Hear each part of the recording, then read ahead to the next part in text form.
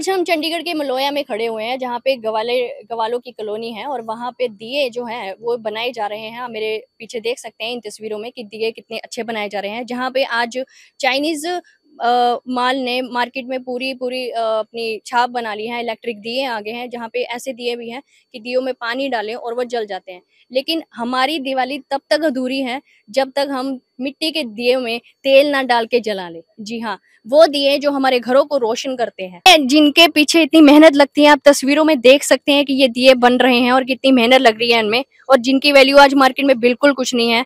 हम आज इन्हीं कलाकारों की मेहनत आपको दिखाने लेकर आए हैं। जिनकी जो दिए बना रहे हैं और बहुत अच्छे तरह के और हर एक डिज़ाइन के दिए बना रहे हैं। देखिए जरा। सर आपका क्या नाम है? सुरेंद्र कुमार। और आपको यहाँ पे दिए बनाते हुए कितने साल हो गए? मेरे को तीस साल हो गए कम से कम। पापा मम्मी को अस्सी साल नब्बे साल हो गए। तो आपका शुरू से काम यही है? शुरू से यही काम है।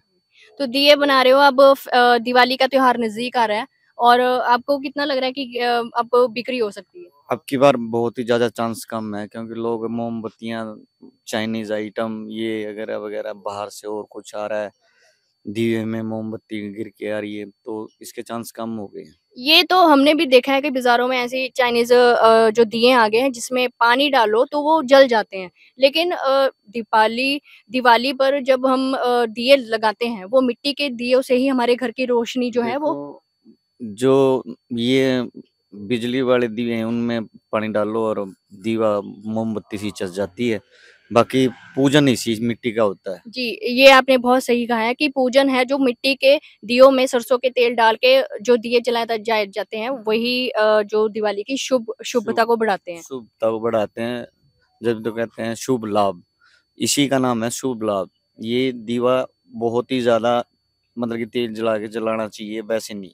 तो आपको दिवाली का सीज़न है आपने अभी तक जो माल तैयार किया है आपको कितना लग रहा है कि सारा बिकेगा? नहीं नहीं नहीं बच जाता है ये तो अपनी दुकानों के लिए बनाते हैं बाहर तो बिक्री बंद हो गई है ना बाहर लोग और आइटम आने लग गया और दिन में कितने कस्टमर आ जाते हैं यहाँ पे आपसे?